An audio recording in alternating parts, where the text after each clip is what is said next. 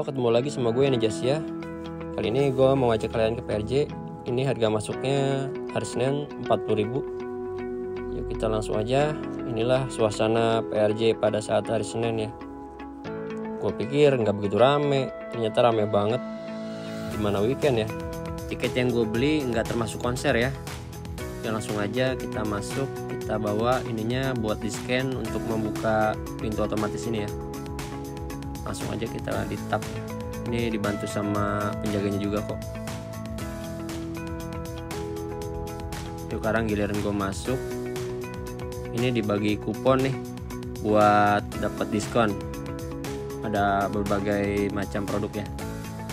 Ini kita lewat jalur scan. Nggak jauh dari gerbang masuk langsung ketemu sama tukang dagang kerak telur ya. Ini juga ada mungkin soto betawi ya jadi kalian yang belum sarapan bisa langsung sarapan dulu di sini sebelum masuk ke dalam. Soalnya di sana rame. Ini di sini juga banyak berbagai stand-stand ya. Di sini ada buat minuman ringan juga di sini ya. Ini gua posisinya jam setengah lima ya. Ini udah rame banget kayak gini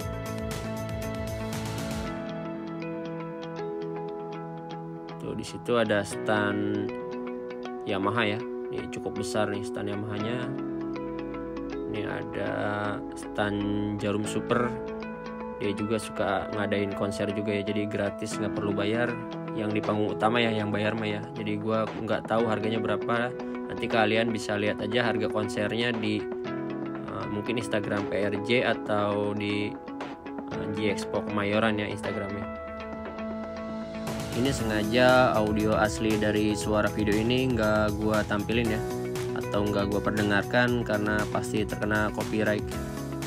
Yo ini alat-alatnya buat nanti malam konser.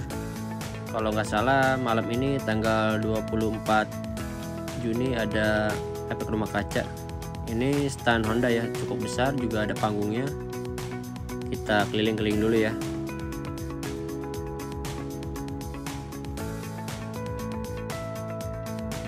intinya jangan takut lapar atau aus di sini jajanan berlimpah nih.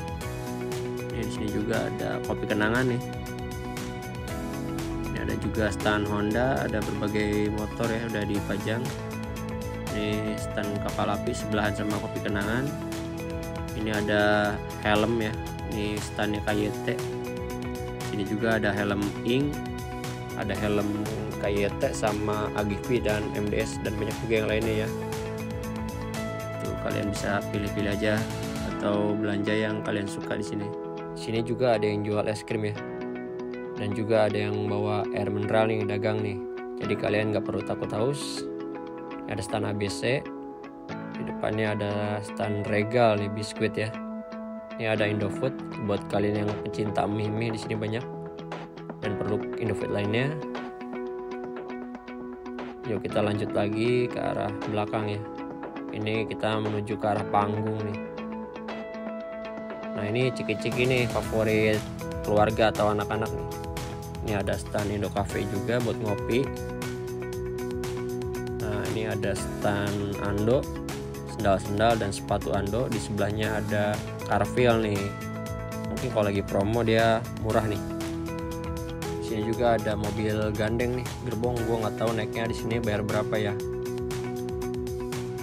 kita lanjut. Ke belakang ini ada beberapa stand ya. Ada stand minuman ada teh pucuk di situ. Gak apa-apa lah gue promosiin lah walaupun gue nggak dibayar tetap gue promosiin. Ini ada panggung utamanya ya besar banget nih. Cuman yang gue bilang tadi di sini tiketnya beda ya. Di sini ada tiket terusan. Ini mineral sebelahan juga sama teh pucuk. Jadi bisa ditukerin kalau yang punya kupon dengan harga yang lebih murah ya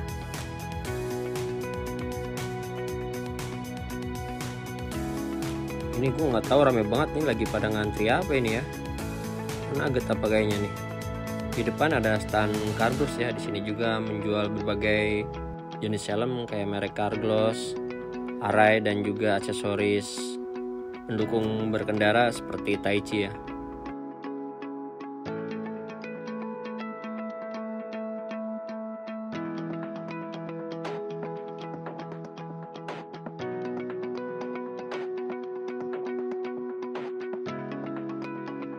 Yuk lanjut lagi ke belakang. Di sini ada apa aja ya? Kayaknya sepertinya ada wahana anak ya.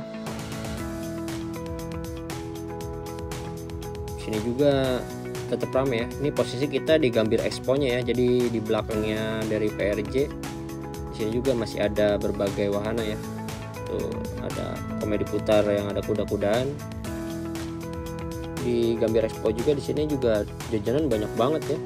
Tinggal pilih aja ini gue lagi ada di danau gue sengaja ke sini mau ngopi dulu nih. Dapat kopi gratis kopi gajah.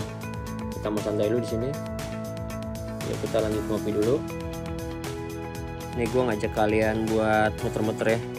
Ini juga ada wahana juga nih namanya kalau di gua ombak nih. Waktu di pasar malam nggak tahu di sini namanya apa.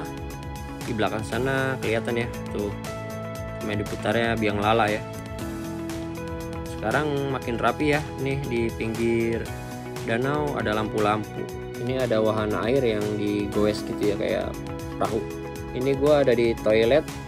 Kalau gue lihat ini bersih banget mewah seperti hotel bintang 5 jadi pengunjung makin nyaman ya. Buat kalian yang belum subscribe subscribe dulu ya biar kalian gak ketinggalan video selanjutnya. Oke terima kasih